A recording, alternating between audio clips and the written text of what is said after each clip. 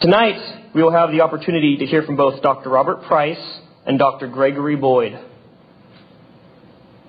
Dr. Robert Price will be taking the negative, the negative position, arguing that the historical Jesus is not the Jesus of the Christian faith in what I'll call the traditional sense, meaning the Jew, the Messiahs, the, sec- the Son of God, the second member of the Trinity.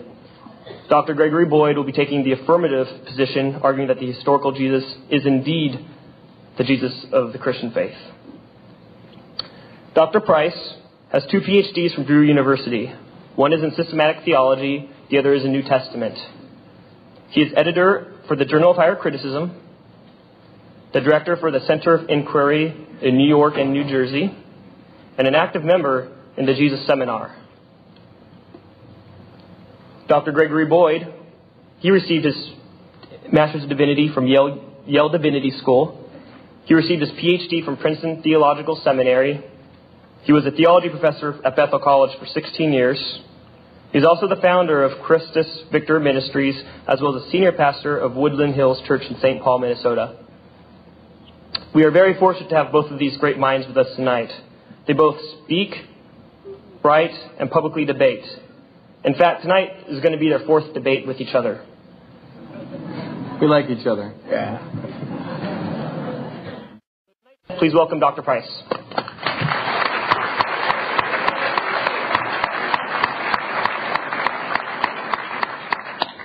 you know, uh, if Larry King really did interview him, you know, the question he'd really ask is, what was it like working with Simon Peter? Uh, not exactly my favorite. Anyway, uh, one one little uh, correction. I uh, uh, abdicated my illustrious position as uh, director of the New York Center of the Center for Inquiry a while ago. I, I still consider myself a humanist, like my pal Jim Underdown back there, but I also, in a kind of paradoxical mode am a church-going Episcopalian. I just am no longer uh, orthodox or evangelical in faith, though I used to be. I was uh, for a while a president of a student uh, chapter of InterVarsity Christian Fellowship. I went to Campus Crusade and got training in the four spiritual laws and later wrote a satire of it called Have You Heard of the Five Calvinist Laws? Uh, at the end of which you, you, find out that you're one of the uh, predetermined reprobate to be damned and you sign a little certificate, say, I accept eternal hell as my lot. And like, well, anyway, uh, but. Um, uh, I, uh, I, I, have uh, what I want to tell you tonight is is not exactly kind of a negative assessment of who I think Jesus was or was not, but the reasons for the virtual agnosticism that I hold about the question. Uh, to me, the Christ of faith and the Jesus of history are different things, both fascinating in very different ways, though. And uh, if you can look at um, the way I view uh, the menu of options for the historical Jesus, if you can wade through my book Deconstructing Jesus that's uh, available at Amazon or whatever. Got another one coming out uh, the end of this year from uh, Prometheus Books, also called The Incredible Shrinking Son of Man, which tries to show how we know less and less and less than scholars used to think.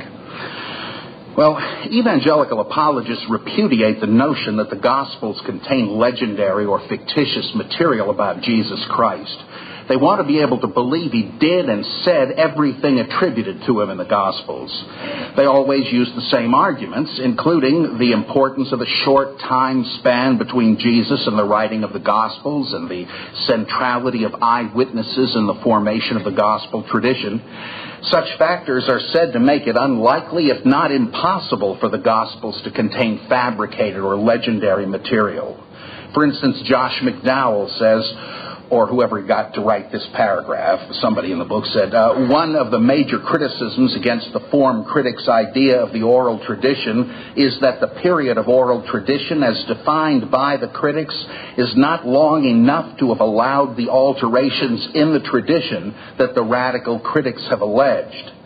And the quote. Similarly, John Warwick Montgomery asserts quote, with the small time interval between Jesus' life and the gospel records, the church did not create a Christ of faith.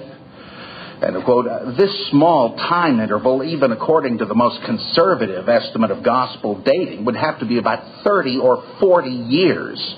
Apologists protest that this is not really a long period at all. As McNeil says, quote, it is not usual, I'm sorry, it is not unusual for men even of slight intellectual ability to recall and relate clearly important events occurring 35 years previously. But surely that's not the point. Critics suggest not so much that eyewitnesses forgot the details of what they saw. I forget, Peter. Did Jesus walk on water or was he water skiing? Uh, no, uh, no. The question is whether other people saw uh, very little to nothing about Jesus and then spun out legendary material during those years, as, as uh, D.F. Strauss suggested. People uh, who had little to remember and tried to just fill in the gaps of their knowledge. But if the, if the apologists are right, records of similar religious figures written within a comparable time span should also be free of legendary embellishment. Well, are they? What do we find? This is what really began to crack my confidence in the apologetical edifice. Uh, Gershom Scholem's study of the 17th century messianic pretender Sabbatai Tzvi provides a good parallel here. Sabbatai Tzvi was able to arouse apocalyptic fervor among Jews all over the Mediterranean during the 1660s. The movement suffered a serious setback when the Messiah renounced Judaism under the gun and turned to Islam. You thought a crucified Christ was a bitter pill to swallow. But uh, the movement did not die away after that. The history of Sabbatai Tzvi is, is important because it's readily accessible to us, more so than that of Jesus, because obviously this Messiah lived a lot closer to our own era, and much more documentary evidence survives him. Well, here too, according to the apologists, legends should have waited at least a couple of generations till they reared their ugly heads. But Scholem speaks of, quote, the sudden and almost explosive surge of miracle stories, unquote, concerning Sabbatai Tzvi within weeks or even days of his public appearances. Listen to this description by Scholem. The realm of imaginative legend soon dominated the mental climate in Palestine while Sabbatai Tzvi was there.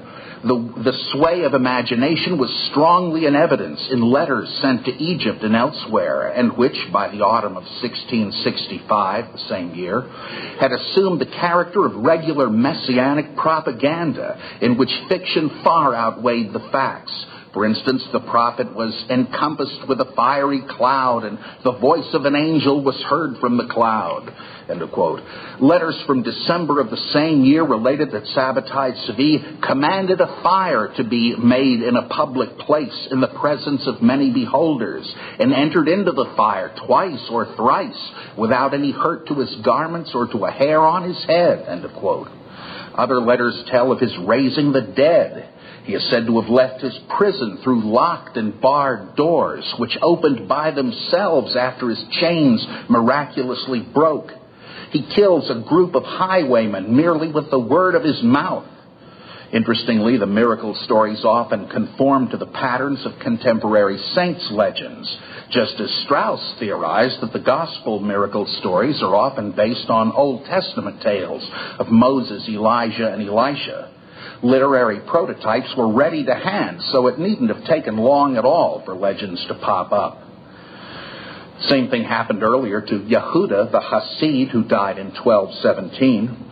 In his own lifetime, legends made him a great magician, though in fact Yehuda was a staunch opponent of magic. Skipping ahead, 20th century African prophet and martyr Simon Kimbangu, uh, who, who, started the largest denomination in, in the Congo even today, he became another living legend despite his own wishes. One group of his followers spread his fame as the God of the blacks or Christ of the blacks, even while Kimbangu himself, languishing in prison, disavowed the role. Legends of his childhood, his miracles, and his prophetic visions began within his own generation. 1950s faith healer William Marion Branham was held in high esteem by legions of his followers, many of whom believed him to be Jesus Christ returned, or even a new incarnation of God. He, however, didn't teach such notions. In fact, once on a visit to such a group of devotees in Latin America, he explicitly denied any such wild claims. But his followers reasoned that he must have just been testing their faith. Well, Ed Sanders encountered a number of legends about Charles Manson while researching his fascinating book, The Family. On one particular bus trip in Death Valley, quote, several miracles were alleged to have been performed by Charles Manson. Uh, one story relates that, quote, Charlie levitated the bus over a creek crag. End quote. So it seems that an interval of 30 or 40 years could indeed accommodate the intrusion of legendary materials into the gospel tradition if the, you know, if the goose fits the, the, what is it, the sauce is good for the goose and for the gander. Same thing here. Well, Apologists, however, don't only argue from dates and time intervals. They also appeal to the role of eyewitnesses in the gospel tradition. Montgomery, like McDowell and others, employs what he calls the external evidence test. He says, quote, as to the authors and primary historical value of the gospel accounts, confirmation comes from independent written sources, unquote. Well, who are they? He goes on to quote second century bishops Papias and Irenaeus, one from Hierapolis in Asia Minor, the other one from Lyon in Gaul to the effect that the Gospels of Matthew and John were written by the disciples of those names, and that Mark was written from the preaching of Peter. But there's no real reason to think so. These guys were at least 100 and 150 years after the uh, texts themselves. If the author of the so called Gospel of Matthew had been an original disciple, why would he have merely expanded Mark for his Gospel, which itself was not written by an eyewitness? Why would he not have used his own recollections of Jesus? In fact, we can't even be sure Papias is even referring to what we call Matthew and Mark. What he says about uh, the gospel uh, that, that traditionally taken to be Matthew would fit better the gospel according to the Hebrews, an apocryphal text. What he says about Mark recording the preaching of Peter would fit the Kerygmata Petrou better than the gospel of Mark, so we don't really know whether they were talking about our books or not. But some apologists will accept a looser connection between the gospels and eyewitnesses. Uh, the eyewitnesses wouldn't have to be the authors. The Gospels, they say, are the result of a process of oral tradition, word of mouth transition. Some, like F. F. Bruce, actually seem to think that's what happened. Others, like Montgomery, only seem to accept the idea for the sake of argument. But in either case, the objective is to show that the formation of any such oral or community tradition about Jesus was firmly under the control of eyewitnesses all the way, and thus wouldn't have admitted of legendary embellishment. And so F. F. Bruce writes, of course, I'm tempted to read this with a British accent, but I won't. Uh, quote, It can have been by no means so easy as some writers seem to think to invent words and deeds of Jesus in those early years when so many of his disciples were about who could remember what had and had not happened. End of quote. The idea is that the apostles and other eyewitnesses would have seen to it that rank and file believers didn't let their fancy run wild in creating stories and sayings of Jesus. Well, it seems to me that this argument rests on an anachronistic picture of the apostles' activity. They're imagined here as a kind of team of fact checkers ranging over Palestine, sniffing out legends and clamping the lid on any they discover. If the apostles declined to leave their preaching to wait on tables, I kind of doubt they had time for this sort of thing either. Again, look at Sabbatai Sevi. We know that the chief apostle of his movement, Nathan of Gaza, repeatedly warned the faithful beforehand that the Messiah would do no miracles. But as we've seen, miracle stories gushed forth without abatement. Keep in mind the caution of Roman Catholic scholar Hippolyte Delehaye, who worked on the uh, saints' legends. In discussing the sources and the likely historical accuracy of these stories, he says, quote, the intellectual capacity of the multitude reveals itself on all sides as exceedingly limited, and it would be a mistake to assume that it usually submits itself to the influence of superior minds. On the contrary, the latter necessarily suffer loss from contact with the former, and it would be quite illogical to attribute a special value to a popular tradition because it had its origin amid surroundings in which persons of solid merit were to be met with. Ask any teacher or speaker how uh, he or she feels about the reception given the, uh, the what he or she has said, uh, what, what they were thought to have meant, etc. Bruce and Montgomery go on to add a negative version of the eyewitness argument. what about hostile eyewitnesses who could have called the Christians bluff? Uh, uh, Bruce says, had there been any tendency to depart from the facts in any material respect, the possible presence of hostile eyewitnesses in the audience would have served as a further corrective. End of quote. Bruce is just not reckoning with the contagious fervor of apocalyptic movements. One hears what one wants to hear.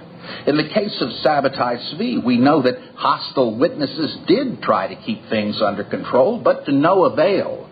The rabbis of Constantinople announced that during the Messiah's stay there, quote, we have not beheld a single miracle or sign, only the noise of rumors and testimonies at second hand. But do you think anybody listened?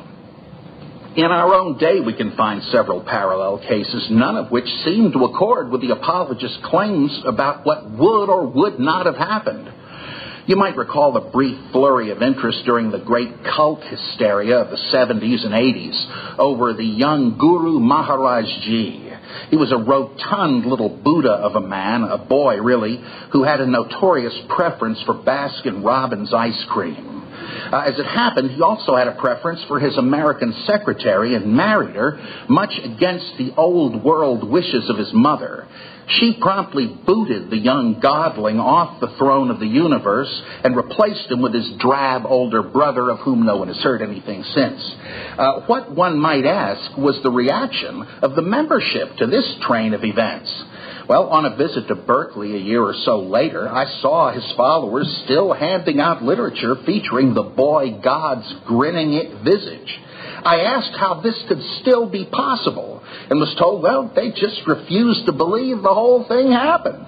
Uh, all was the same as far as they were concerned. Or take the Rastafarians of Jamaica. They venerated the Ethiopian Emperor Haile Selassie as God incarnate despite his own puzzled reaction. What became of their faith when the deposed emperor died? On a 60 Minutes broadcast, an intelligent looking Jamaican journalist, himself a Rastafarian, said he believed Haile Selassie was still alive. His supposed death, a hoax fostered by the unbelieving Western media. In all such cases, we have to ask if cognitive dissonance reduction may be involved. When one has so much at stake in a belief being true, for example, Mark 10:28, "Lo, we have left everything to follow you." One simply cannot, psychologically speaking, to admit one might have been mistaken. Any fact may be denied or rationalized. Finally, one is impervious to the carping of hostile witnesses. In just the same way, uh, some of you are probably determined to reject my position beforehand, no matter what I may say. Just, you know, I, I don't know of anybody in particular, but ask yourself.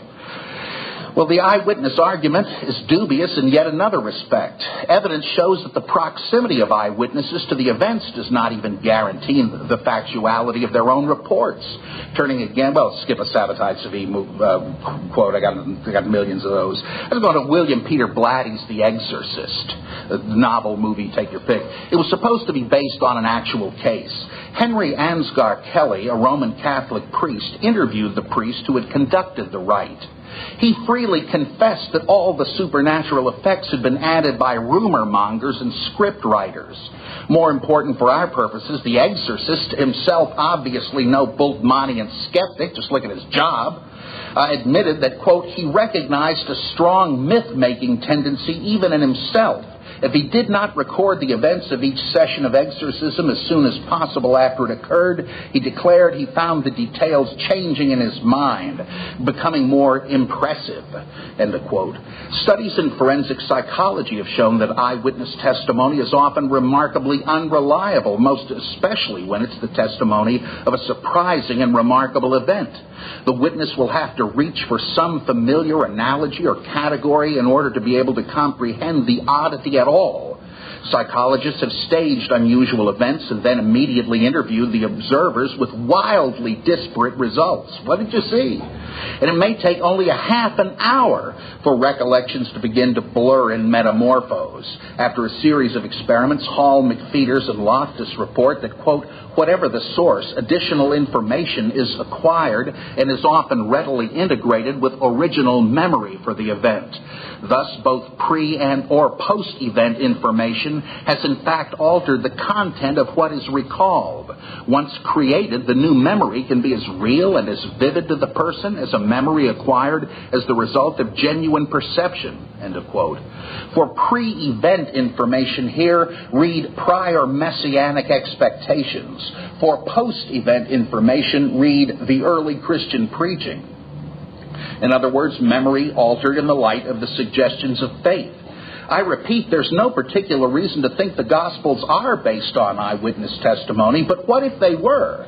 Far from supporting the apologist's position, the dynamics of eyewitness testimony would seem to point in the opposite direction. The witnesses of Jesus saw a remarkable man with unusual gifts and proceeded to interpret him in categories drawn from Old Testament miracle tales and Jewish apocalyptic mythology.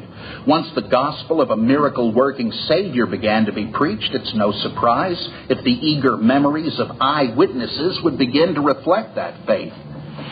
Let's just turn briefly to the sayings of Jesus. Wouldn't special care have been taken to preserve Jesus' authentic sayings and to exclude bogus ones? Form critics suggest that sayings were created by the early Christians by the inspiration of the Spirit and then ascribed to Jesus. The idea is that it mattered little to them whether the saying came from the earthly Jesus or the exalted Christ. Well, conservatives reject this. F. F. Bruce is typical says, Indeed, the evidence is that the early Christians were careful to distinguish between sayings of Jesus and their own inferences or judgments. Paul, for example, when discussing the vexed question of marriage and divorce in 1 Corinthians 7, is careful to make this distinction between his own advice on the subject and the Lord's decisive ruling. I, not the Lord, and again, not I, but the Lord. End of quote.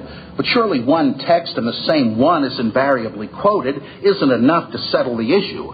Elsewhere, Bruce himself recognizes the very ambigu- ambiguity stressed by the critics. Citing 1 Thessalonians 4 14 through 18, Bruce says, We cannot be sure whether Paul is quoting a word of Christ which had come down to him in the tradition, or one that was communicated by the risen Lord through a prophet. Thought so. Well, by ancient Middle Eastern standards, it's not at all certain that faithful ministers of the word would never dare let a phony saying slip in. This might be the very thing they ought to do. Consider the analogy with the ministers of the Hadith or the oral traditions of the Prophet Muhammad. How did they work? R.D. Smith describes it this way. Regarding the character of the transmitters of the traditions, especially during that vulnerable century when they were transmitted only by word of mouth and memory, two ancient Muslim authorities agree that, quote, a holy man is nowhere more inclined to lie than in the matter of traditions, unquote. There are many venerated Muslims who actually are known to have succumbed to this temptation, Smith says, some of them explicitly admitting that they did so. It is important to note, moreover, that in spite of the fact that these men were known as forgers, they were nonetheless revered as holy men because their lives were considered to be completely unobjectionable. It was a quasi universal conviction that it was licit in the interest of encouraging virtue and submission to the law to concoct and put into circulation sayings of the prophets. Or how about uh, anthropologist Jan van Sina in his book Oral Tradition as History? He says, quote, Historical truth is also a notion that is culture specific. When G. Gossen reports that the Chamuleros, Maya Chiapas, believe that any coherent account about an event which has been retold several times is true, the historian does not feel satisfied. In many cultures, truth is what is being faithfully repeated as to content and has been certified as true by the ancestors. But sometimes truth does not include the notion that X and Y really happened. One cannot just assume that truth means faithful transmission of the content of a message. The historian must be on his guard. He cannot assume anything on this score, but must elucidate it for the culture he studies. End of quote. So much for the arguments used vainly by apologists to try to choke off gospel criticism at its source. Really, they're all attempts to get evangelical students and seminarians to pay no attention to the man behind the curtain. Because if they do, things will get complicated. It will no longer be so easy to claim one is parroting the teaching of Jesus. No longer so easy to claim a personal relationship with a figure of history whose outlines are irreparably blurred in the mists of antiquity. The task of the apologist is a quixotic quest. The locomotive of New Testament research will not stop for such a suicidal cow astride the tracks. I invite you instead to hop on board at the next stop. And then you can join in the exciting task of sifting the gospel traditions, recognizing the innumerable gospel contradictions and anachronisms no longer as troublesome flies in the dogmatic ointment, but rather as valuable clues and levers for unlocking the precious treasures of the text. Thank you.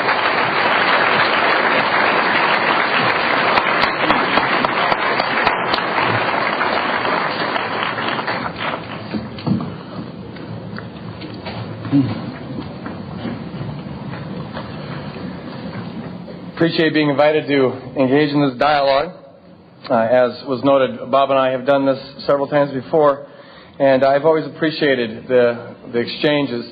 Uh, we both agree, there's not a lot of people who do this anymore, and we both agree it's fun and informative and important. And uh, so it's always a pleasure to be involved in this. And I, I, I really think that in terms of those who uh, debate and argue for the legendary hypothesis, uh, he does it about as good as it can be done. In my estimation, not good enough though. And so I'll be presenting the alternative to that. Uh, the title of this uh, debate has been, uh, was I was told, Jesus, legend, teacher, critic, son of God. And my thesis that I would, I'm going to argue for is that he was, in fact, teacher, he was prophet, he was critic, he was son of God, but he was not legend. Uh, and the basis of that will be basically this. I don't think that the legendary hypothesis is adequate to explain what needs to be explained. I think Bob does an outstanding job of showing how people can, in certain situations, be incredibly gullible. I'm not convinced that he's shown that the New Testament authors are in that class. But there's also a positive grounds that I'll make, and that is that I think we've got very good reasons for believing that the Gospels are generally reliable. And that's the case I want to make. The question I'm going to kind of be circling around here then is this. Why think that the Gospel's accounts are, Gospel accounts are not legendary? They include supernatural miracles, and uh, one might argue that wherever there's supernatural miracles, we can assume it's legendary. But I want to argue that the Gospels, in spite of the fact that they contain miracles, are not legendary. And I'm going to try to get through 12 points, 12 arguments for why I don't regard them as being legendary. Number one, Legendary parallels don't prove legend. Legendary parallels don't prove legend. Joseph Campbell, in his book uh, A Hero with a Thousand Faces, uh, draws up a number of characteristics that almost all hero legends and hero myths have in common. The, the hero saves a maiden, comes close to death, a number of times overcomes his own insecurities, overcomes insurmountable odds, and things of that sort. Now, a lot of you saw the movie Braveheart, the story about William William Wallace, the man who uh, almost single handedly freed Scotland from the, the rule of the British. The interesting thing is that he fits most of those, in fact, almost all of those characteristics. Now, as I understand Bob's logic, uh, it's, if, if something fits the category of legend, it must be legend. But here's William Wallace, who certainly fits all the features of legend, but no historian argues that he's legendary. And the reason is because, as a matter of fact, um, there's good historical evidence that he did what he did, as incredible as it was. It shows the point that sometimes reality incarnates myth. C.S. Lewis and I would argue the same thing for the historical Jesus. Yes, there's a lot of legends that, uh, in some ways, approximate this, but we've got good reasons to believe that this is the real McCoy. The legend points towards, anticipates the reality. The longing for a hero issues forth legends that uh, anticipate the real hero. The longings for God and the intuitions about what reality is like uh, are then, uh, in the same way, fulfilled in the person of, of, of Jesus Christ. That's why C.S. Lewis argues this that Jesus is myth become reality. The legends anticipate him. Secondly, I would argue, I'm not going, I'm just going to touch on it here, that the parallels, I may do this a little more later on, there are really no clear legendary parallels to the story of Christ. There are some similarities, and they certainly have supernatural elements in common, but on a number of grounds, I would argue that the similarities are, uh, the, the dissimilarities are very significant and have to be attended to. Point number three. They claim, the gospel authors claim to write history and aren't obviously non historical. Standard historical methodology places the burden of proof on historians to show such writings to be unreliable. The burden of proof is not on the writings to prove that they are reliable. If we didn't make this assumption in standard uh, historical methodology, our history books would be a whole lot smaller because more often than not, we have to rely on single or, or, or two testimonies that can't be corroborated.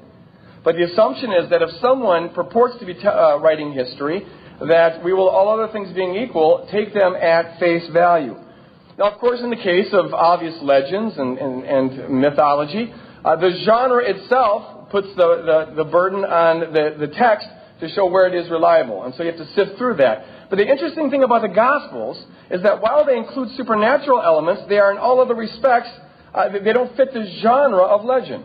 Again, C.S. Lewis said that I, he said, I spent my life studying le- legends. He was a professor of mythology at Oxford. And he says if there's one thing the Gospels aren't, it's legends. In all the other respects, there's sobriety and a number of other features. They give the appearance of being historical documents. They claim to be eyewitnesses. And that has to be taken into consideration. True, eyewitnesses sometimes can get it wrong, so they can be prone to legend. But the burden is on the historian to show that rather than on the text to show that they're not being legendary.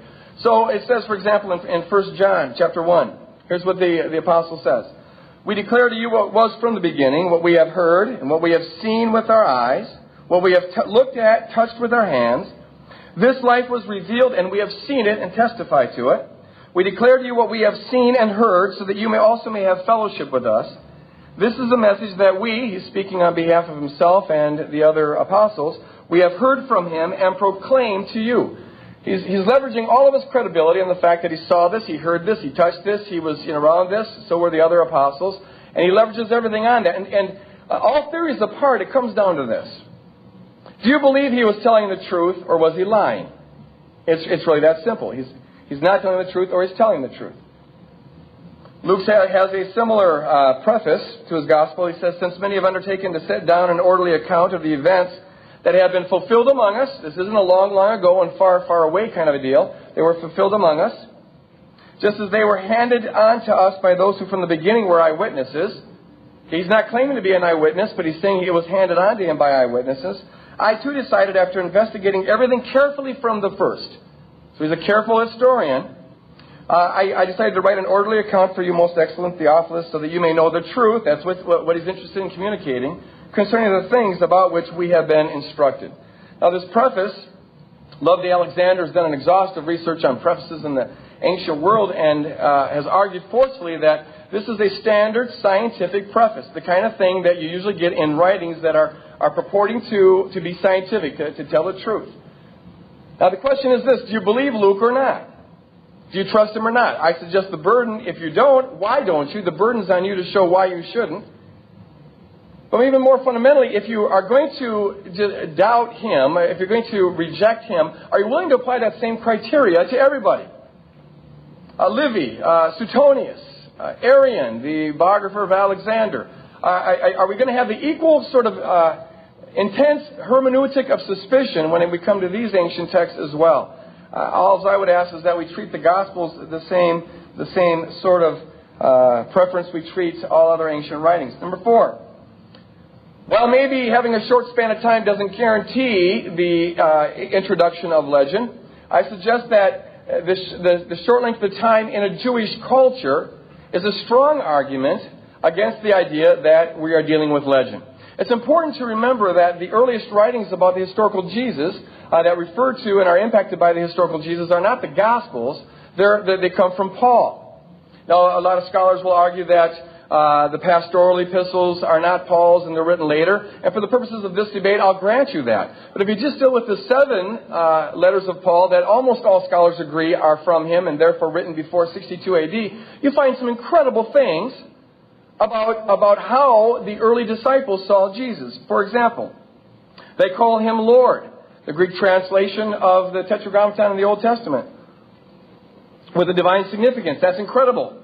We're talking about monotheistic Jews in the first century here, and they're calling a man who lived 20 years earlier Lord, God. They believe he was resurrected. In fact, in Paul, in 1 Corinthians 15, Paul is passing on a creed. He's reminding them of a creed they received. So he's not making this up on the spot. It's not like the resurrection story, 20, uh, the resurrection story started 20 years later. Uh, he's reminding them of something they already knew. So it predates him significantly, and it has a creedal format, as uh, scholars recognize. Jesus is worshipped. In fact, this characterizes all believers, Paul says, to all who in all places call upon the name of our Lord Jesus Christ, both their Lord and ours. This was the standard thing among early believers. They worship Jesus Christ. We're talking about monotheistic Jews here. Uh, he, they prayed to Jesus. Paul himself prayed to Jesus, often in the same breath as praying to God the Father. Uh, this is outstanding. Uh, you can show examples of how, in, uh, in some segments, fringe segments of first century Judaism, people venerated intermediate beings, but as Larry Hurtado and a number of others have argued, never did it cross the line into worship and uh, invocational prayer. Uh, Jesus is seen as the judge of the world in Paul, but only God is the judge of the world. He's seen as being the creator of the world, but only God is the creator of the world. Uh, Paul says in Philippians 2 that he is by very nature God and he's equal with God. And uh, scholars recognize this as being a, a, a, traditional hymn. It's already in place in the early church. We're talking 20, 25 years after Jesus lived. Uh, this has already been in place. That's incredible. What, what explains that? That's what we need to have an explanation for that. He's God over all, blessed forever in Romans, and if you accept Colossians and Titus, He's the fullness of God in bodily form, and He's our great God and Savior. And so the question is this. We need to have a historical explanation for, for uh, uh, what, what must Jesus have been like to have impacted Jews against all of their cultural and religious presuppositions that this man could be God. What, what would explain that? And I would submit to you that even if we didn't have the Gospels, we'd have to postulate, or it'd be at least reasonable to postulate something close to the Jesus the Gospels give us, just to explain the impact he had on the early uh, Christian community. Now, now, now, Bob is among uh, a few, and there's just a few scholars who argue uh, that Paul didn't believe that Jesus lived recently. He, he, lived once upon a time, long, long ago, far, far away, and, and, and that helps certainly to, to put a span of time where legend could develop. But there's a number of arguments that I would raise if I had time against that. Right now, I'll just give one.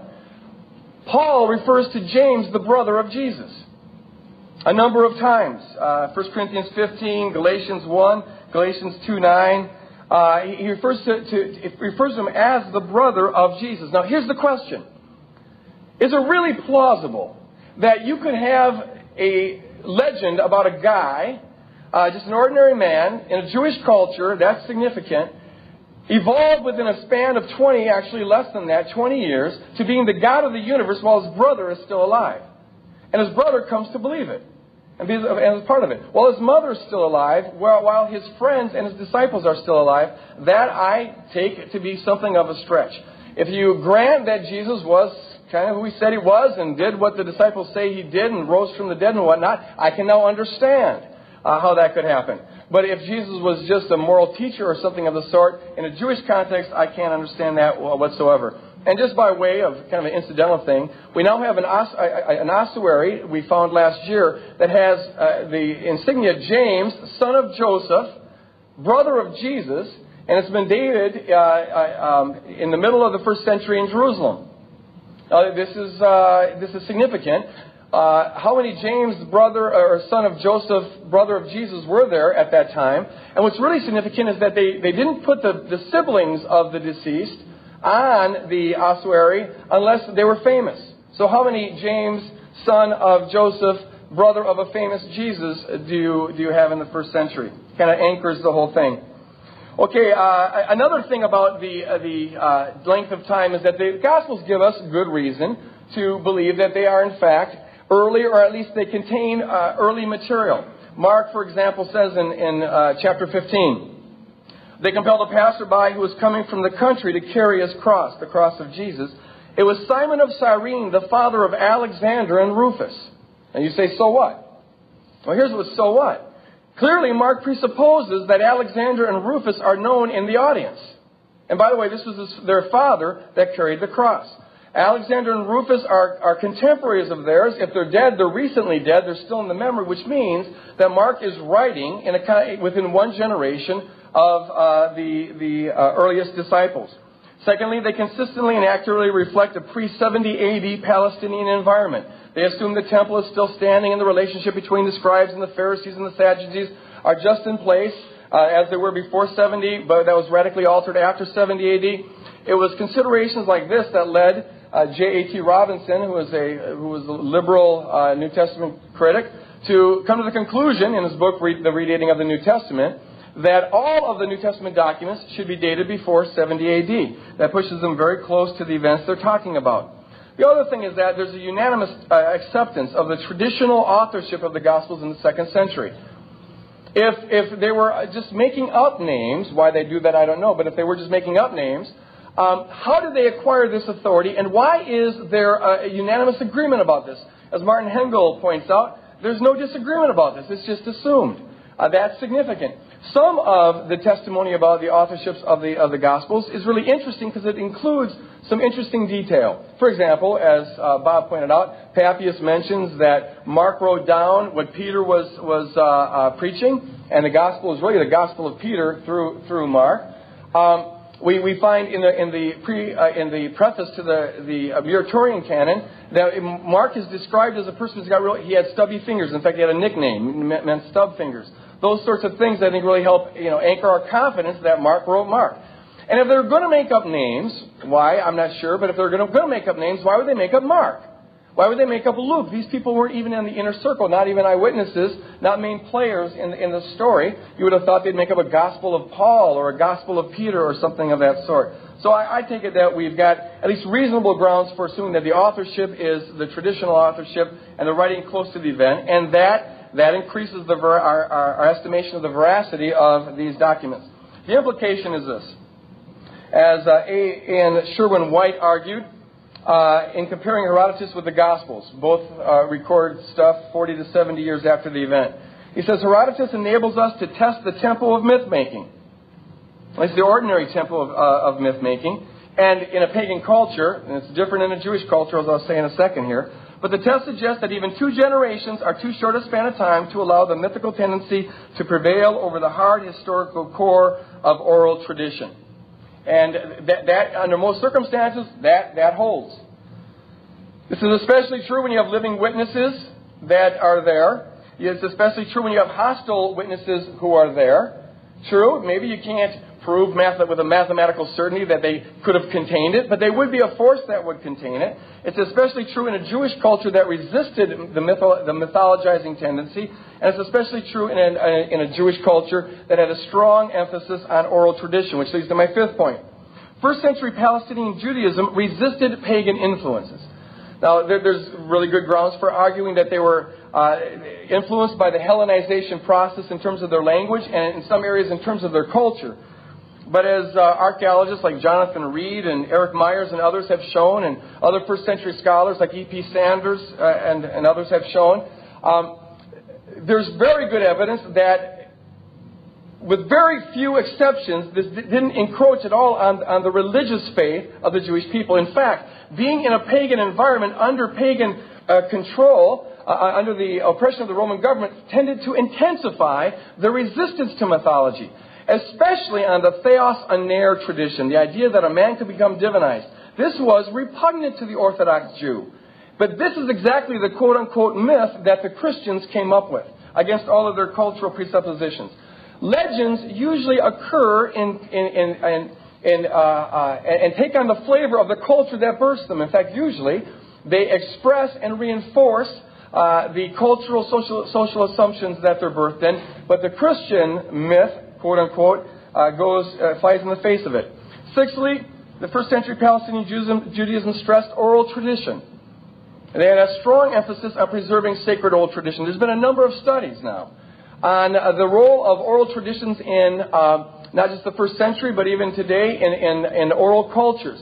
And what they're finding is that there is a, a flexibility, but there is also a core of, of the oral tradition that is considered to be untouchable. And if someone screws that up, they, they, people notice that. There's checks and balances. And in the first century, where there was a special emphasis put on oral tradition, passing on sacred tradition, Paul uses those words actually in 1 Corinthians 15. Uh, it's just not the kind of uh, context in which it would be conducive to just be uh, birthing myths. Point number seven. If first century Palestinian Jews would have and could have created a legend, I submit to you it would not have looked like the Christian story. It wouldn't have looked like this. This is a, an especially important point because two of the uh, cri- criteria for authenticity uh, that the Jesus Seminar used is the embarrassment criteria and the dissimilarity criteria. If something would have been embarrassing, you can, it, it makes it more likely that it goes back to the historical Jesus because communities don't create things that embarrass themselves. Or dissimilarity if they create things that are that are, uh, uh, or if you find things that are against the cultural assumptions and against the religious beliefs, it's more likely that they didn't create that, since people usually don't create theological structures that are dissimilar to them. When you turn to the Christian story, here's what you find Jesus was a cursed and crucified Messiah. They weren't expecting that. He cries out on the cross, My God, my God, why have you forsaken me? It's amazing that that stayed in the tradition and didn't get lopped off, even if it did happen. But there's certainly no grounds for think, seeing how it could encroach in on the legend if it never happened in the first place. Why would someone include that as part of the story when they're trying to preach Jesus as the Messiah? Jesus' divine claims and authority. That was not expected. They, his, his claims and the authority that he spoke with, putting himself on a par with the Old Testament, it was shocking to the crowd. It would have been shocking to the Jewish disciples. It's not what was expected. The fact that Jesus rose from the dead before the eschaton, before the end of the age. The, most Jews had a belief in the, in the resurrection of the dead at the end of the age when everyone's raised. But the idea of an individual being raised in the present age was utterly new. We've got to explain that.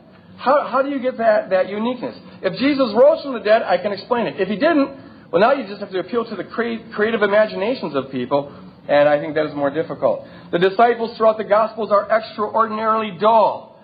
Think about yourself. If you're, if you're creating stories about your, your heroes, do you make them look like idiots?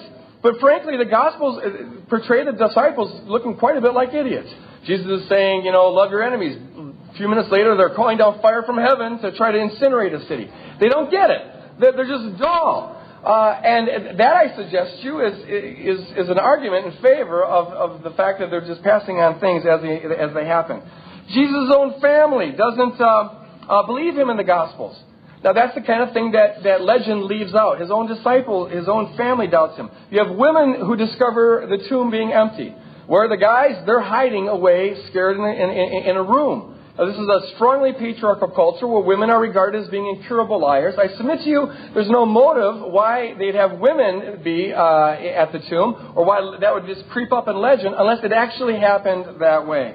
You have Jesus hanging out with tax collectors and prostitutes, which was a scandal. And to this day, the church hasn't got the message about uh, loving like he loves to the point where you attract tax collectors and prostitutes. You have inexplicable sayings and events in Jesus that, that were, were troubling to everybody. Uh, you know, someone says, uh, uh, Lord, what, what good thing must I do to enter heaven? And he says, Why do you call me good?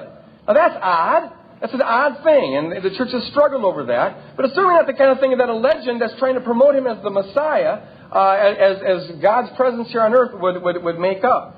Uh, in Mark 6, it admits that Jesus could do no mighty, no, no miracles in his hometown. Uh, that's not the kind of thing that legends bring forth, and that further substantiates the reliability. Point number eight. There's a multi- the multitude of early sources uh, suggest the reliability. Uh, realize that much of history, as I said earlier, depends on single sources, often written long after the fact. But that doesn't trouble historians too much. Uh, they work with it. For example, most of what we know about the Persian Wars comes from Herodotus, writing roughly 70 years after the event. Most of what, or a good deal of what we know from Alexander the Great comes from one source, Arrian, writing four centuries after the event. Uh, much of what we know about the first century comes from Josephus, and Josephus alone, writing sometimes 90 years after the event that he records. Most of what we know about, or much of what we know about the Middle Ages, comes from St. Bede, writing sometimes 200 years after the sources, and that's considered a good history. When we are talking about Jesus and the early church and the goings on of the first century, we've got a dozen sources within the first 70, 80 years, even on liberal dating. Uh, and and uh, it, they're just all over the place. Add to that the fact that you've got a multitude of other sources in the next hundred years after that. And there are varying degrees of historical reliability, I will grant that. Uh, and yet, uh, the, the sheer number and proximity is, I think, an argument in its favor. And the final point I think I'll have time to argue for is, is number nine. The Gospels contain a wealth of irrelevant, vivid detail. And that is characteristic of eyewitness testimony. It's not characteristic of legends. Uh, Wolfgang Schadewaldt, who was the foremost, uh, probably the foremost Homer scholar of all time, was invited to Tübingen, uh, to their liberal faculty, to discuss his perspective on the historicity of the Gospels. And I think he, he surprised them when he said this. We cannot be other than captivated by the experiential vividness with which we are confronted in the Gospels. I know of no other, this is the guy who knows this stuff, I know of no other area of history writing, biography, or poetry where I, where I encounter so great a wealth of material in such a small space, uh, in such a small space. Any one of these, of course, you could have suspicions about. Do any one of these prove the case? No. But taken together, they constitute, I submit to you, uh, a good, good foundation for believing that the Gospels are generally reliable and give us the historical Jesus. The Christ of their faith is the Christ of history. Thank you.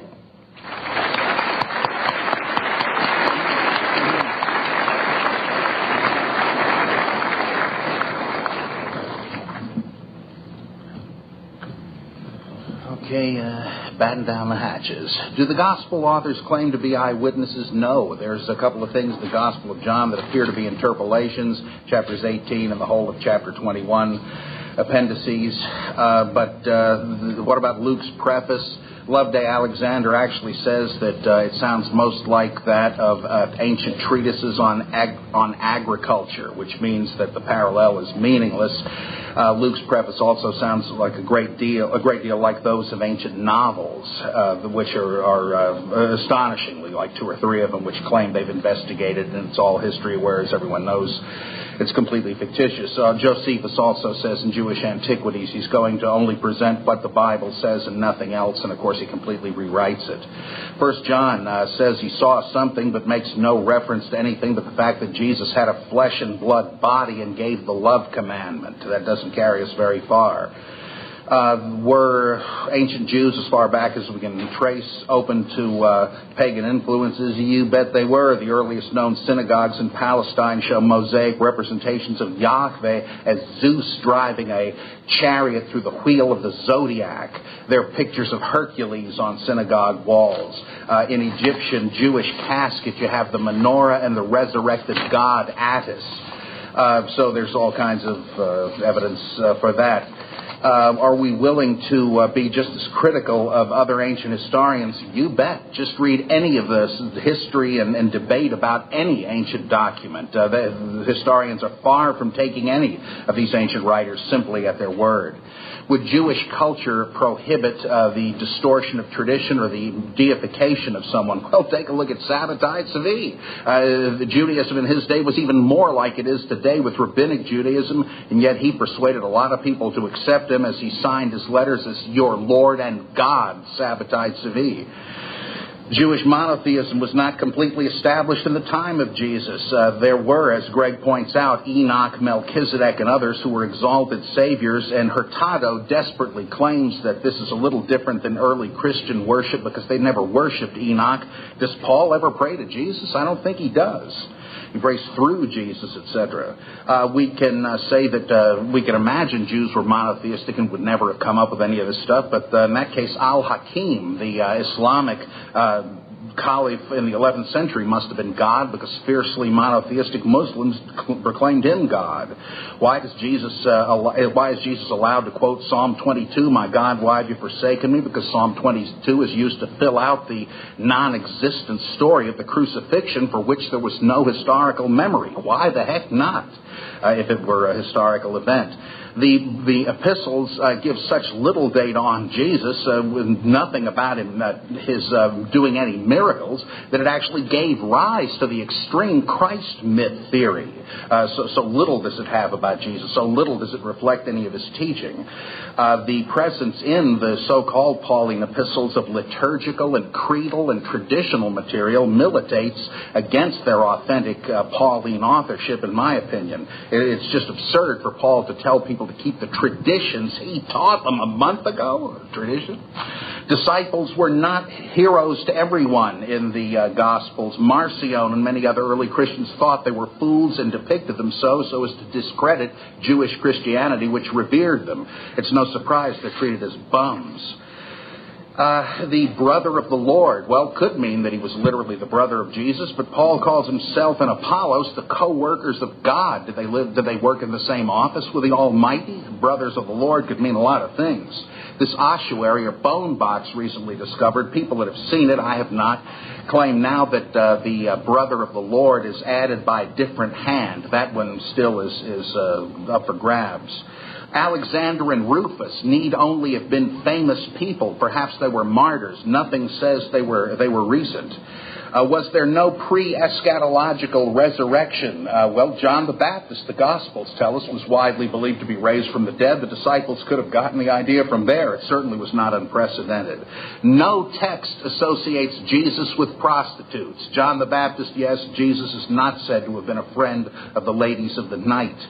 Mark and Luke were chosen uh, as non apostolic names for Gospels after the fact precisely because Matthew was the favorite of the early church. His was attributed to a disciple. These were seen to disagree in order and content with Matthew, so they chose non apostolic names on purpose. There were people in the early church who believed the Gospel of John was actually written by the Gnostic Cerinthus or Marcion. Uh, so it's it's not all that uh, that clear. Mark the stump finger. That is a polemical uh, slur uh, making Mark into Marcion, Mark the less, implying he didn't know how to write a gospel. Where would they have gotten the idea of women at the tomb? Well, from the resurrection myths of Osiris, where it's women and not men who go to the tomb. That of Attis and various and of Baal and various other dying and rising gods. Greg has a good point. The burden of proof is on the one to, that takes my view to say there's reason to doubt that the Gospels are accurate. I didn't go into that. Uh, let me just briefly say reasons I think there's a lot of funny business going on. There are contradictions between the teachings of Jesus and the Gospels. What did Jesus teach on fasting? Christians do it, Christians don't do it, Christians don't do it now, but will do it later. Compare Mark and Matthew. Uh, will the kingdom of God come with signs to be observed? You can contrast uh, Mark and Luke and elsewhere in Luke. Is divorce allowable? Contrast uh, Matthew with Mark and Luke. Should you pray succinctly as in the Lord's Prayer or again and again as in Luke 18? Should you keep the least of these commandments or did Jesus declare all foods clean? Do you need only to repent or must you believe that Jesus is the Son of God or die in your sins?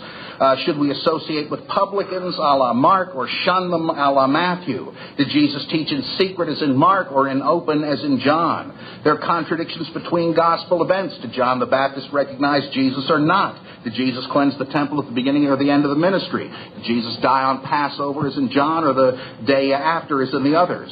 Uh, did uh, Jesus visit Jerusalem once before he died, or many times, as in John? Uh, was John the Baptist Elijah? Two Gospels say yes, two say no. What did Peter say at his confession? There are four different answers in the Gospels.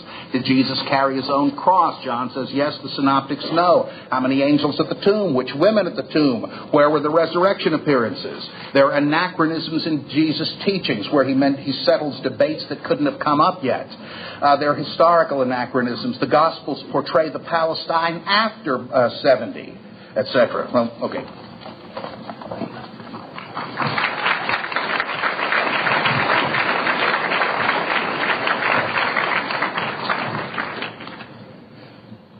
All right. Um, where to begin? Where to begin? Where to begin? Um, I, will begin with uh, just uh, one, one, one, final word about the, the legend parallels, since uh, a whole lot is leveraged on that. And I can't go through all the various parallels that uh, were, were, put out. But it, Sabbatai Tzvi was, was brought up quite a bit. And it kind of illustrates the radical difference between uh, the accounts about Sabbatai Tzvi and those of the Gospels. Uh, just some of the differences. Um, and I'm getting all my, my I'm getting most of my information from the same source that Bob is, uh, the book that was written about him. But the opponents uh, denied that he did, ever did miracles, uh, and um, even his own main prophet Nathan denied that he did miracles. Uh, there were there were historical followers who said he was doing miracles, but those closest to him didn't uh, affirm that. The stories that are told are largely in keeping with the expectations of the time. And the, there, there is a difference between first century Judaism and the Judaism that was entrenched in the environment where Sabbatai Tzvi was, was uh, preaching. Uh, they were very apocalyptic at the time. That wasn't different. But they were very much into Jewish mysticism, the Kabbalah, and other things. And a lot of the uh, pronouncements of Sabbatai Tzvi fit very well with that, uh, that Kabbalistic uh, tradition. Sabbatai Tzvi was generally regarded even by his contemporaries as being mentally ill. Uh, he provided no exceptional teaching or insight, unlike Jesus, uh, where you, you can't get the impression that this guy is, is, is crazy. Sabbatai recanted his messiahship, as Bob pointed out, when he was captured by the Muslims. He converted to Islam and encouraged others to do so. Uh, that, of course, is very different from Jesus. It does show uh, that a good instance of how incredible, how uh, people can believe despite incredible odds. But in terms of finding historical explanations for it, you're dealing with a very different kind of person than you're dealing with the person of Jesus Christ.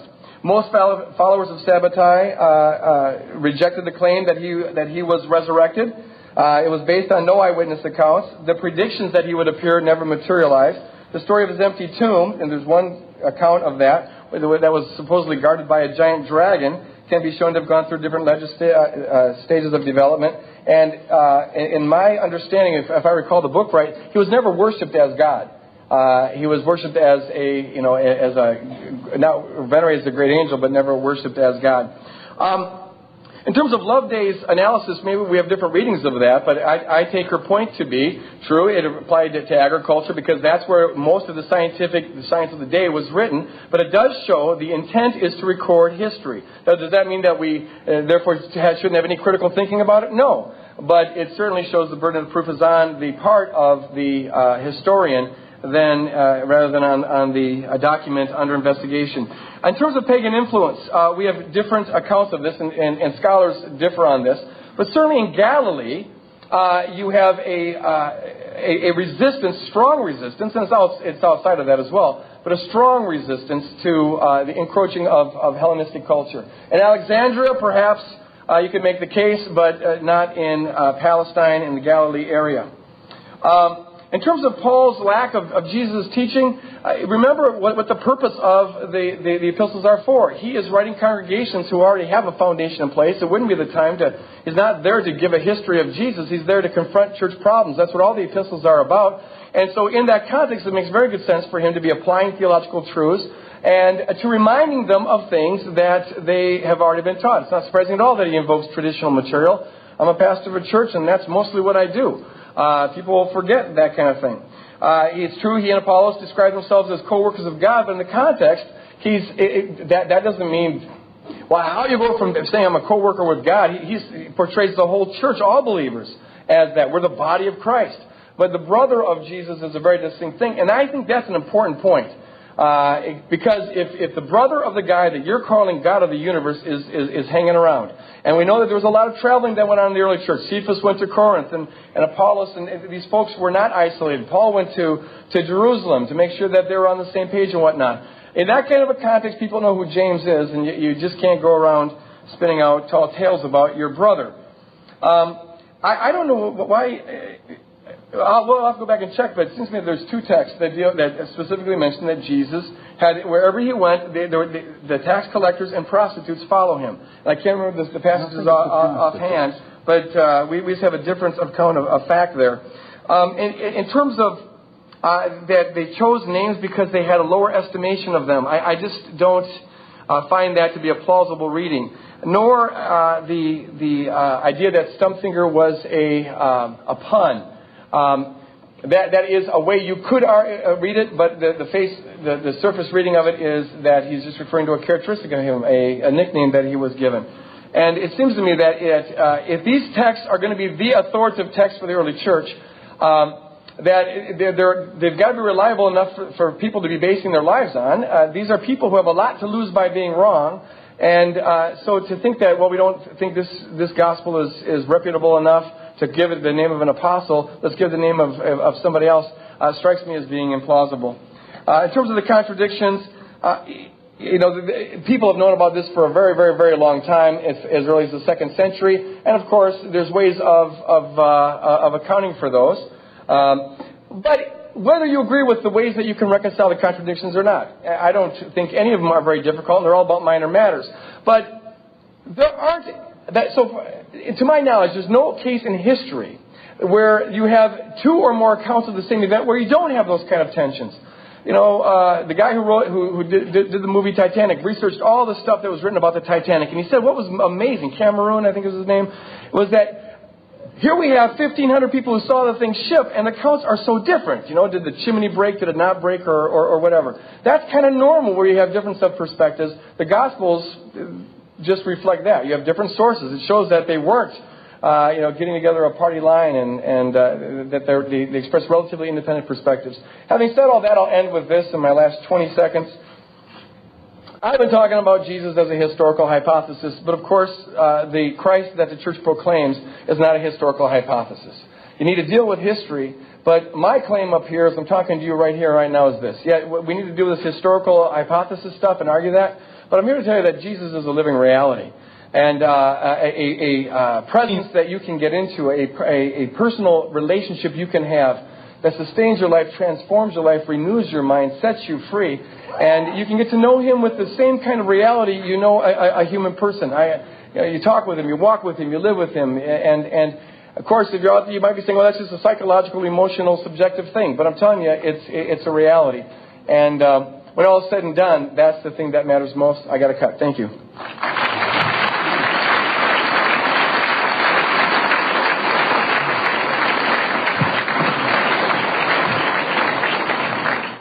All right, Dr. Bartchy, he earned his PhD at Harvard.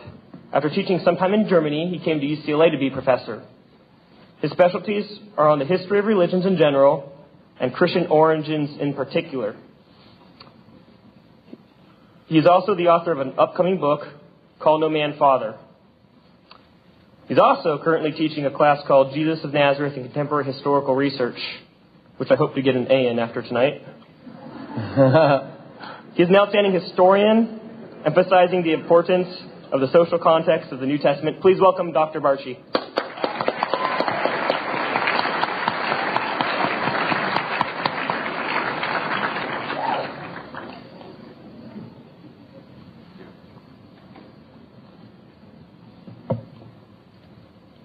Really you didn't come here uh, to have me ask questions, but to have you ask questions. So I just uh, I could uh, be in dialogue with these guys for the rest of uh, rest of the week. Uh, but I'd like to address one question to each, and then I'll get out of the way. Uh, at the end of what you had to say, Dr. Price, you were saying that certain approaches to these texts have made it very difficult, very difficult for some people, presumably yourself as well, to, as you put it, unlock the precious treasures of the text. And although I'm sure you could take hours to talk about this, I think it would be helpful for you to give us some clue about what those precious treasures might be if we approached it correctly.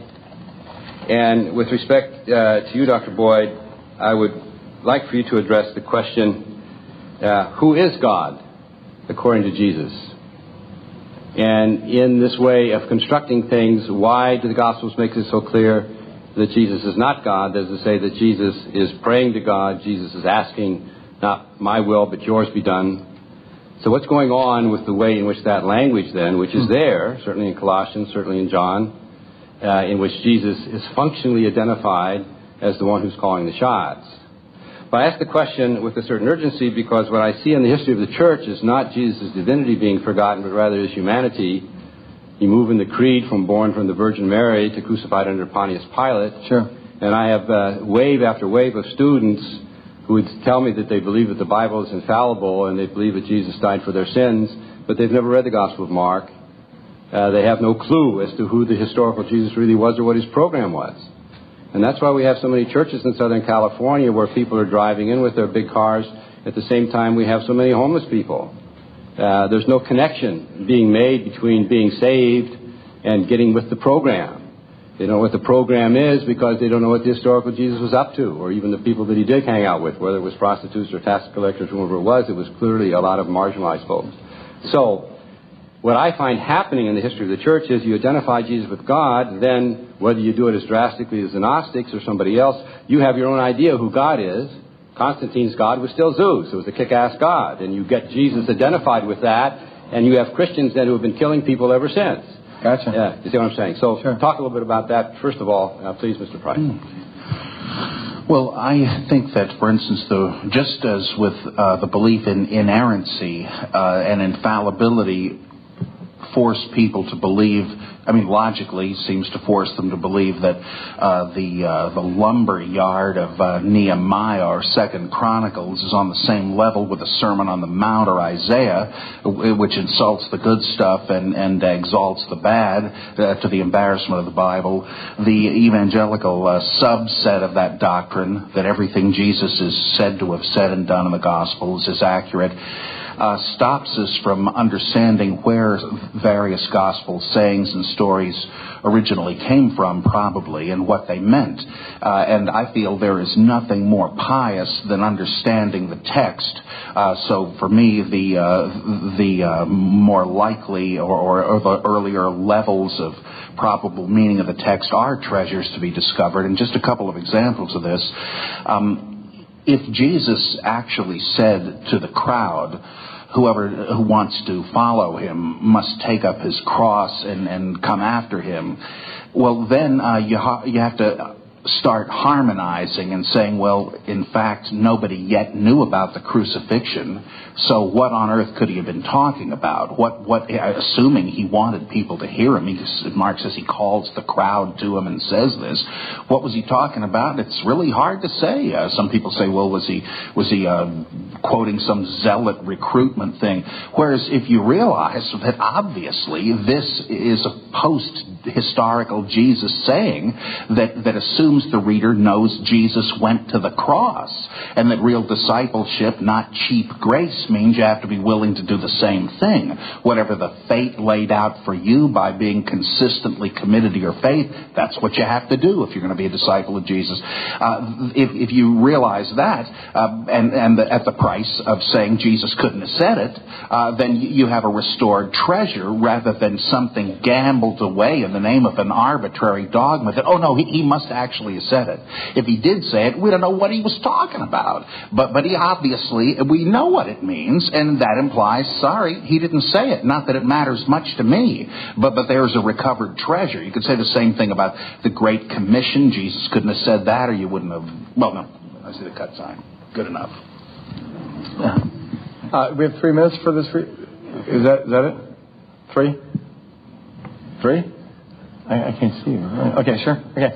Um, yeah, a very good question. There is uh, a dynamic that you find in the Gospels that's not resolved really until the fourth century, and even then it's not resolved, it's more relabeled.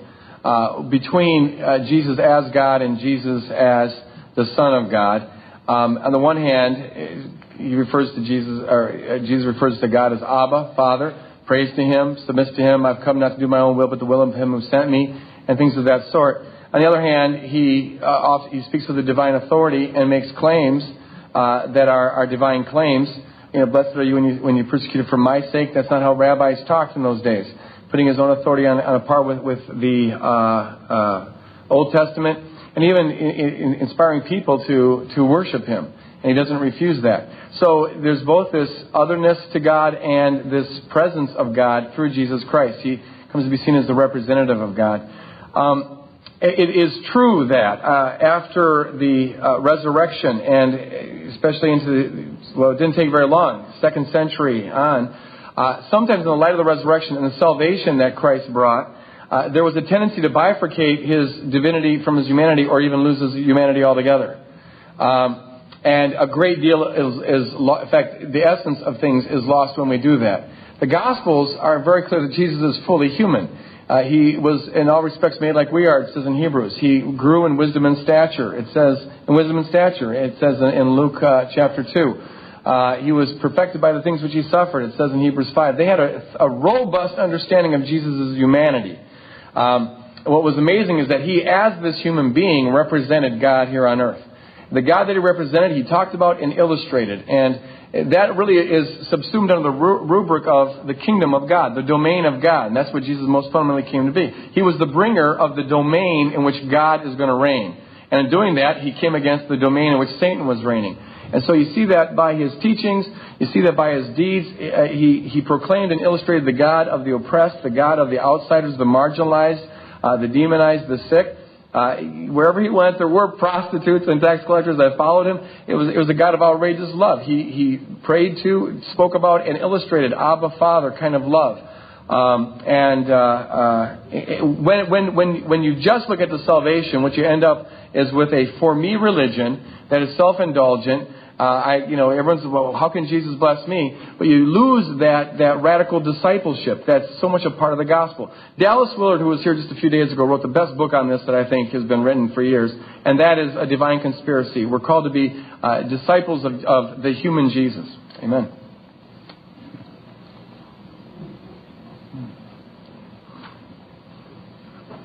I'm starting to preach there a little bit, I think.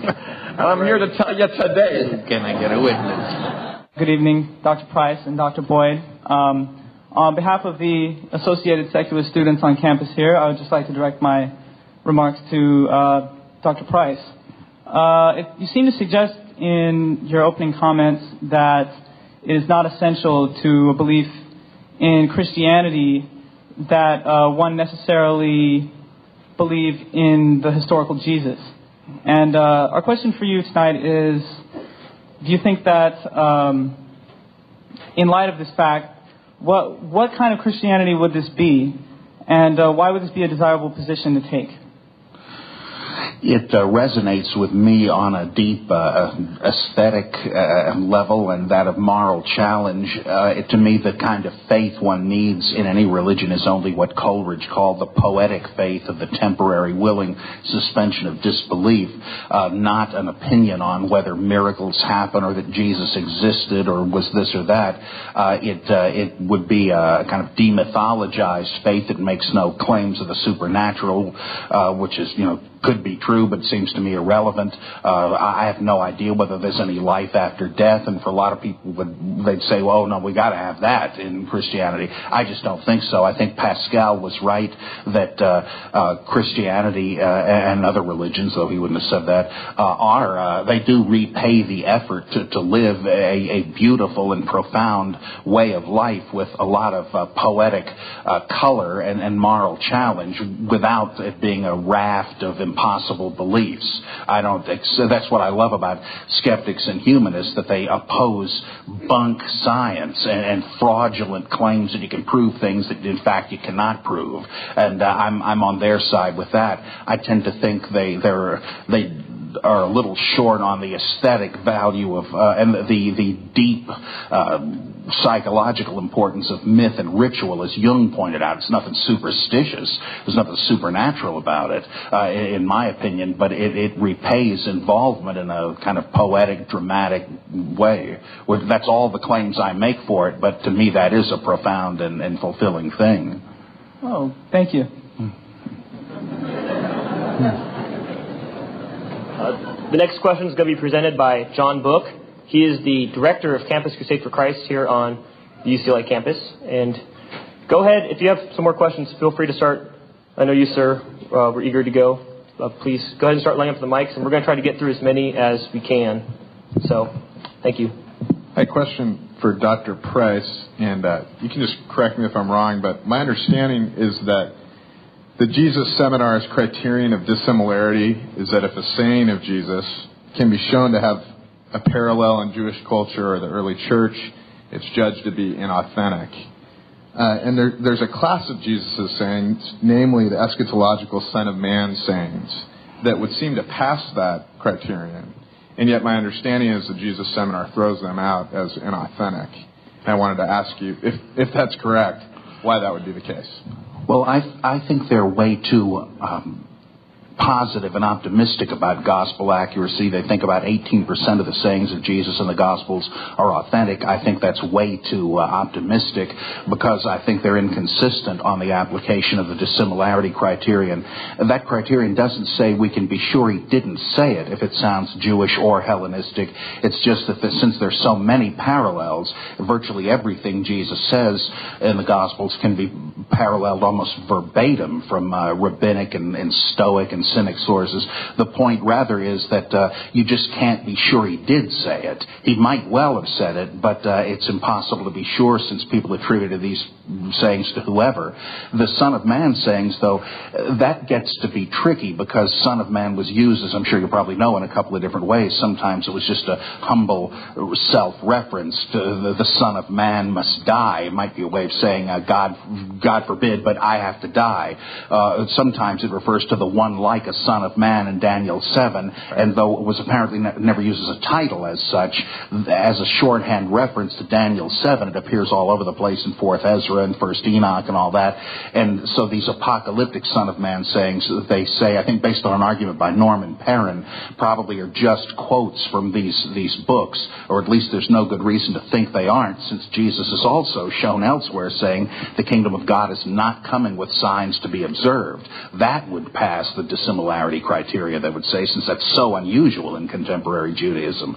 So they'd say son of the coming of one like a son of man to stock uh, Jewish uh, opinion and, and clashes with another that's attributed to Jesus. So I think that's why they rejected. But they're inconsistent on that criterion. Go ahead, sir. I just have a brief uh, comment uh, regarding uh, Dr. Robert Price. For those of you who may be seduced or uh, disconcerted by his uh, analysis, there's a very healthy antidote in the form of uh, C.S. Lewis's Abolition of Man, in which he describes the human hubris to deconstruct, which eventually ends up in rejecting objective reality. And I think if you read that uh, particular slim volume by C.S. Lewis, I think you'll be strengthened in um, your notion that perhaps uh, Dr. Robert Price's analysis is a more deconstruction and reflects uh, human hubris. Uh, by the way, uh, Dr. Price, Mary Magdalene was a reformed or repentant prostitute, and Jesus ro- uh, washed her feet. Well, that all depends on what the word Magdalene means. The rabbis uh, applied it to the mother of Jesus and thought it was based on a pun for an Aramaic word that sounds much like it that means hairdresser, implying um, prostitute madam. And if that's what it really means in the Gospels, then that would be evidence. But it, it, as it is now, the Gospel writers seem to think it means Mary of Magdala, and uh, and she isn't actually called a prostitute. She's not identified with I think Luke 7's woman who is a sinner sinner who probably is supposed to be one.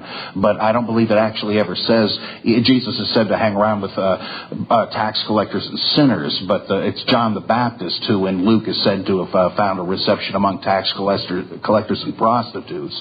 So that's why I say I don't believe Jesus is said to have associated with prostitutes, though he may have. Uh, thank you. Mm-hmm. Uh, thank you, gentlemen, for sharing your insights with us tonight. I do really appreciate it. And my question is uh, directed to uh, Dr. Boyd.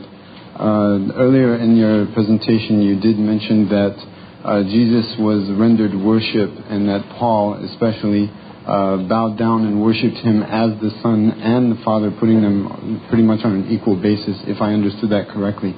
Um, my question is, um, it's multi-layered, but I think some, you know, you can probably hit it out with one shot. Um, uh, John, Jesus is uh, known in the three Gospels, especially, but uh, uh even in John, which is the most deifying Gospel of Jesus, uh, in 423, he says that uh, now is the time that the true worshiper, worshippers will worship the Father, for the Father is seeking out such worshippers. so the emphasis there from Jesus himself is that the Father is the one to be worshipped. Um, and this, this worshipping of Jesus, what form has it taken? If you're speaking of the Greek word uh, uh, that, that, uh, that has several meanings uh, in my reading. I mean, it's kissing the hands of a just king, uh, kneeling before or crouching before we have examples of in the Jewish tradition in the Old Testament where Abigail bows herself before David, where uh, also Joseph's brothers bow themselves prostrate on the ground before Joseph. I would dare not call that worship, or that they would be putting those figures on the same level with the Father as uh, Paul did. uh, and the notion of the, the, the, the Son of God. I mean, God has sons by the tons in the Old Testament. Uh, Ephraim, Israel, his firstborn. Uh, David, uh, Solomon is the son of God. Adam is the son of God. Uh, blessed are the uh, peacemakers, for they shall be called the children of God. So even Jimmy Carter, by that criteria, would probably be uh, one of God's sons. Um, but what makes Jesus so special, especially in the vernacular of, of the uh, of the Jews, where they use this title, Son of God, and why is it that all of the Old Testament prophets taught uh, strict monotheism. Uh, Abraham and Noah and David and Solomon and uh, Jacob and Isaiah, you name it. And then all of a sudden, at the time of Jesus, uh, Please- God please revealed the secret. Uh, this is it. This is it. Yeah. Um, okay. Okay. Uh, the what, what, what's, what's really clear is that Jesus is using the term Son of God in reference to himself in a very distinct sense. Uh, in fact, he sometimes distinguishes my Father from your Father, and no man knows the Son but the Father. No man knows the Father but the Son, and, and he to whom uh, he shall reveal him. That's found in Matthew. Uh, it sounds like John, but it's actually out of Matthew. And so there's a distinct relationship he always presupposes. Um, there's distinct claims that he makes uh, that are not made of ordinary human beings. This is why people, you know, wanted to stone him. This is why he was such an outrage. Um, he does his acts uh, as as uh, a demonstration of the unique authority that that he has, and that's why you have a whole. Uh, you know, thing surrounding him uh, that uh, the, the tradition he leaves makes claims about him that, that are unheard of for Jews to make claims about an individual. I mean, for example, in John, where he says, "If you see me, you see the Father," or John five twenty three, "I've come down from heaven that all may honor the Father, uh, honor the Son, even as they honor the Father." That's an outrageous, blasphemous thing to say uh, for an, an Orthodox Jew, unless he's telling the truth.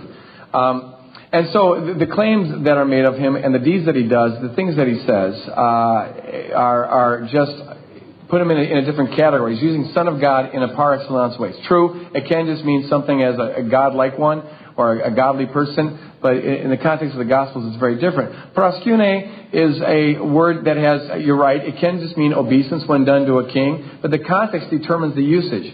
And I would submit to you that, that in Matthew 28, for example, in verse 7 and verse 19, when Jesus, after the resurrection, shows up and says, All hail, and they fall at his feet and worship him, that's a religious context. It's not just paying homage.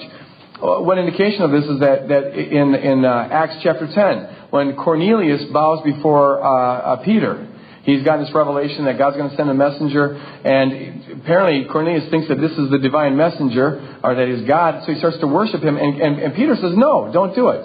The angels, when, when, when, people prosecute them, say, No, don't do it. But when Jesus gets it, he accepts it. So